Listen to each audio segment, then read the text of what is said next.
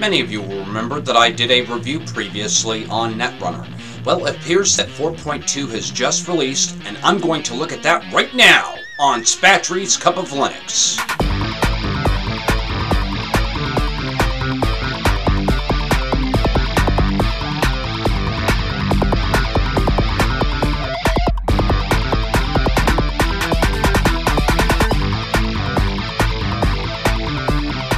Welcome to Netrunner 4.2. And some of you guys will remember that I did a review on Netrunner previously, and I said that this was KDE done right. Well, let me tell you what, they still continue to deliver on this. Now, this distribution is using a finely tuned, tuned KDE 4 desktop environment, and it also has uh, some GNOME applications installed as well, so that you have a nice balance of software here. And I see that they've included a number of really nice features in this. I really like the way that this looks. I like the icon sets that they've chosen. And, uh, well, let's take a quick look and you'll see what I'm talking about here.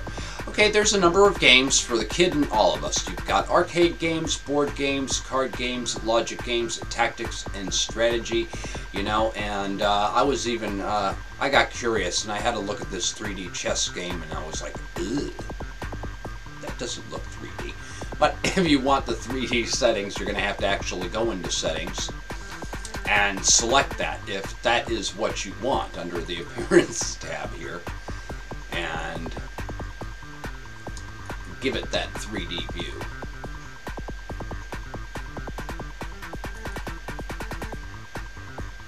You know, my last computer could beat me at chess, but it was no match for me at kickboxing.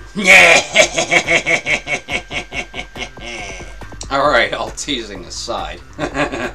Couldn't resist, I had to throw a joke in there.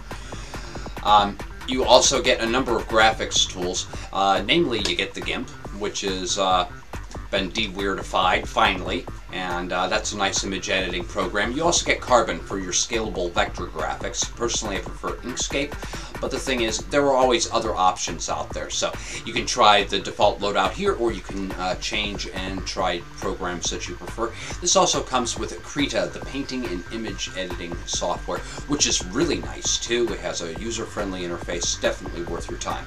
In Internet, you have every tool that's that you could possibly need for accessing and using the Internet with the inclusion of an instant messenger client.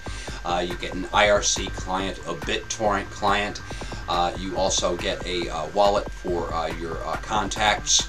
Uh, you get an FTP client, an internet messenger, a mail client, Skype comes preloaded, and of course the wonderful Firefox web browser. I personally prefer this over Chromium or any of the other options that are available out there.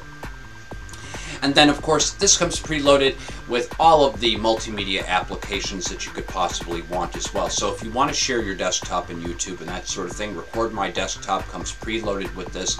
You also get a number of music and uh, music, video, audio player softwares with the inclusion of Kdenlive, my personal favorite video editor.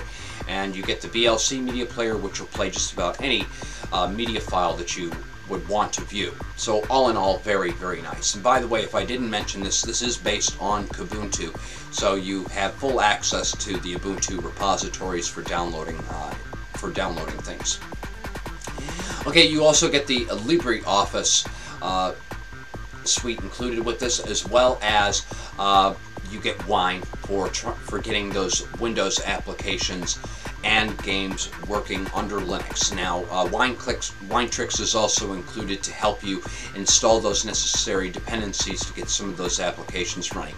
Now, notably though, though Wine is improving, it still doesn't run everything, so experimentation definitely is key here. Okay, and then of course you have a number of web applications that you can uh, use, your Dropbox, your Google Calendar, Contacts, Docs, Mail, Maps, um, and then of course there are um, web games you have access to, and then some suggested websites that you can go to as well Facebook, Twitter, Jack and Joe. Mmm, Jack and Joe, I never heard of that. That better not be some gay site. I've heard of Jack and Jill, but Jack and Joe? Ooh. we are hunted in YouTube. All right. And then, of course, all of your utilities to get the most out of the system are located right here, as well as your system settings. And your system and your uh, settings are all located right here. And all in all, uh, this is a wonderful system. It even includes VirtualBox, nice quick uh, launcher to that, so that you can get. And so, for those of you who absolutely have to have that certain Windows program that just won't run in Wine, VirtualBox comes preloaded on this thing so that you can go ahead and load that into a virtual environment. Once again, Netrunner, you guys did a great job. Would I recommend this to beginners? Absolutely. Would I recommend this to people who are using legacy hardware? No. I recommend that you have a modern computer with at least a single core processor running at 2 gigahertz. Um, that's probably not the system requirements for this distribution, but that is what I am saying. Uh, as as you know, me myself, I, I think for a KDE desktop environment, you really need to have a faster processor and a little bit of memory to boot.